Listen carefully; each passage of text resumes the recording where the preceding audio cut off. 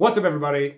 Today, we're going to answer a question I get all the time, which is how do I get started buying a rental property? What are the steps? I want to jump into investing in real estate. I don't know how. How do I get started? Literally, from step number one, we've got the nine steps on what to do and how to buy your first rental property. Step number one, I'm going to get right into it. Step number one, create a goal or a strategy. Figure out your why. Figure out why you're doing this for.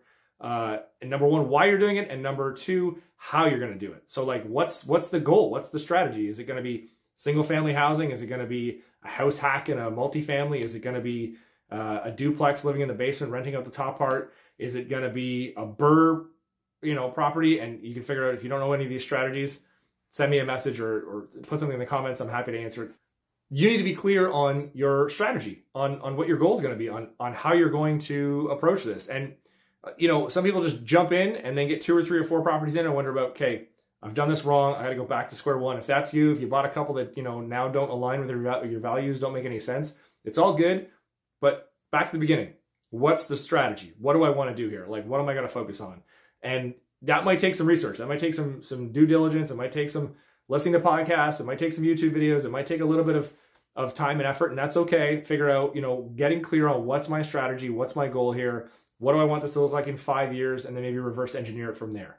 Whether it's cash flow, whether it's you know a buy and hold strategy, whether it's you know doing some some BRRRRs to get a few places with a limited amount of cash as you go. Maybe it's flips, although flips a little bit different for me. I don't know if I would jump into flips right away without having uh, a track record of buying a few places first and having a few and having a little bit of equity and having some wealth, having some money saved aside. Flips can go sideways real quick.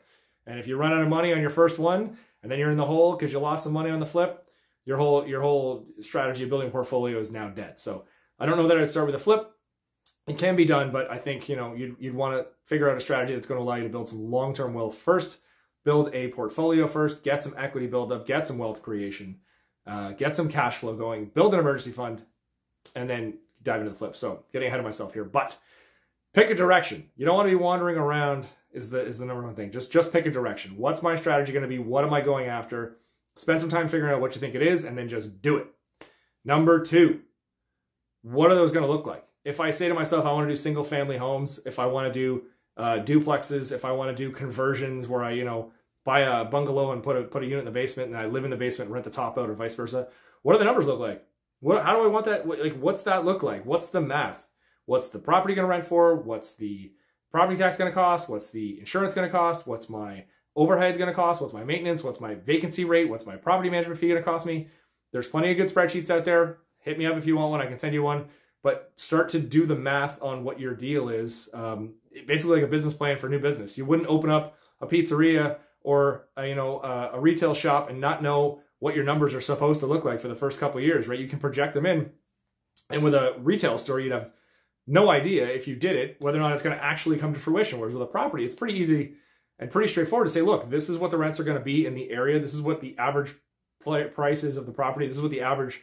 This is what my mortgage payment is going to be. This is what my uh, insurance cost is going to be. This is what my uh, overhead is going to be. You know, every month you can get a pretty good idea of what this is going to look like and then run the numbers and go, okay, this is what I'm after. So that would be step two is really know what you're what you're looking for and then build essentially a business plan for rental property. Like this is what I want to do. This is going to be my business. Uh, there's a bonus tip, tip 2.5, treat it like a business. Don't buy this and just think that I'm like, I'm a landlord now. Everything's going to be great. I'm just going to put someone in there and everything's going to work out. It doesn't work like that. It doesn't, it, it's not, it's not how it goes. You've got to do it like a business. So, you know, run the numbers, get the spreadsheets, do your due diligence, figure out how this is going to work, and then what's it going to look like. Number three, find a mentor. You got to find someone who's been down there before, been done what you've done. Whether there's someone out there has done this, single family, multifamily, house hacking, the BRRRR property, like flipping, whatever. Someone's done it. Um, you know, go find them. And there's so many tools now, YouTube and and podcasts. Podcasts are huge, but just knowing someone face to face, whether that's Zoom or not, like it could be someone across the country that a friend of a friend of a friend of a friend of a buddy of an uncle of a friend knows. Just go, you know, figure out how to get in contact with them.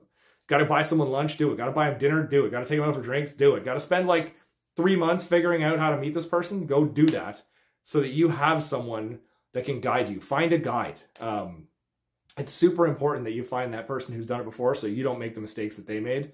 Um, because the number one thing is you can't do it alone. If you do, you're going to make a ton of mistakes that could be avoided. So just reach out there and find out who that mentor is. Uh, find someone who's gonna who's done it the way you want to do it, and then just copy and paste. You know, success leaves clues, as they say. So so go take advantage of that. Number four, start to check your credit. Start to look at, you know, what's my credit score? How much money do I have? Have I talked to a mortgage broker? Am I pre-approved? Figure that part out. It sounds stupid simple, but you've got to get uh, in touch with mortgage broker that knows rental properties, that knows investing, that actually invests on their own. Like number one question I would ever ask a mortgage broker, are you a real estate investor? If they say no, see you later. Nice talking to you. Probably a good mortgage broker. Might know how to get me a house, you know, whatever, but they're not going to be able to build an overall strategy that I'm going to need. If you're going to buy one, you're probably going to buy three or five or whatever. You're not going to just buy one. Like if you're going to get any good at this at all, you're trying to build a, a, a wealth creating, life defining portfolio, which most people are, you're probably not going to buy one place, which means you need a strategy. You need someone who knows what they're doing. You need that person who's going to be able to tell you, here's what we start with. Here's your, like, here's my goals. Here's, let's work backwards. Here's what I'm after. Um, and let them go to work for you. And it's not always about the rate. It's not always about what, you know, what bank you're with. There's a whole thing here that has to happen. There's a whole strategy. You got to talk to the right ones. If you need a recommendation, let me know. Put it in the comments or send me a DM. I'll send you a few that, that are great that I work with but you've got to find a mortgage broker that actually knows what he's doing. So check your credit, check how much money you actually have access to, talk to the broker and figure out what the move's going to look like, what you can, you know, get pre-approved for, and then you can actually start hunting. Number five, you got to know the market. You got to run the deals. You got to search for them daily. You got to find yourself someone who knows the market. This is where you might want to loop a, a real estate agent in. Someone who, again, like the mortgage broker, find a real estate agent that's an investor, someone who's got some doors, someone who's done this before, someone who's been down the road, but know the market, start studying the market, start, you know, talk to that agent and figure out how do you, how can you prepare me? So, you know, send me as much information as like as you can, all the sold data, the comparables of what you're thinking of, what area you're looking for. Study that market so that you know what upside on and backwards, what the rents go for, what the average property goes for, what the after repair value of a property that gets fixed up looks like versus one that isn't, you know, what what the changes are from neighborhood to neighborhood. Like spend some time. Again, it's like you're running a business, right? We gotta we gotta what are your competitors doing? If you're running a store, again, running a retail store, you what's the guy across the mall doing? What's that guy over there doing? Like you'd want to know what's the average cost for this product? What's the average cost for that product? What's the average sale price of this? You wouldn't just go into a blind and go, okay, I'm opening up, you know, Foxy socks. Here it comes. Let's do Foxy socks. We're gonna do socks for 10 bucks a pair. Well, if every average pair of socks is three bucks in your neighborhood, you're not gonna make any money. You're not gonna sell any socks. It's a hell of an analogy, but you've got to know what the heck you're doing. You got to know, you know, um, what the market is and and what the lay of the land is and what the neighborhood looks like. Number six is build an emergency fund. Build a fund on the side, emergency fund, uh, cushion, call it whatever you want, reserve fund. You need to have one of these. Too many investors I see start off with one, you know, the first property, second property, third property. You run into some problems, and I mean, you know they're going to come, but they're not necessarily going to be enormously expensive or huge, but a couple small ones real quick in a quick period of time, and all of a sudden, you know, it's in a big outlay of cash. Or one big thing happens, big outlay of cash. Or you get a few small ones, you you know, you spend that money on some repairs, another great opportunity comes up, and you don't have the buffer because you didn't have enough put aside. So now that you know you're doing this, spend a few months, even a year, whatever. Save up as much as you can so you've got a nice big fat emergency fund. The bigger the better, so you can handle the ups and downs. You're not going to be worried about filling it with a tenant that maybe isn't exactly who you want to be putting in there because you can't afford to have more than one or two months uh, you know, empty vacancy. So have a big, uh, you know, a big war chest, a big stack of cash is going to help you a lot along the way. Finally, the last tip, take action. You got to start making offers.